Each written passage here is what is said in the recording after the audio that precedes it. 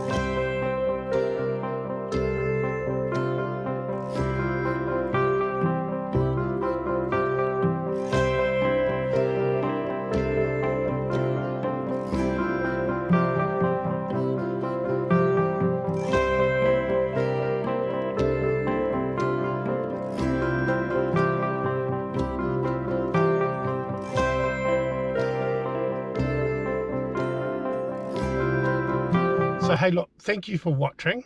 Um, if you please subscribe and like, do the thumbs up for the video. Also, share with your friends and make comments on the face on the um, YouTube page. Thank you very much.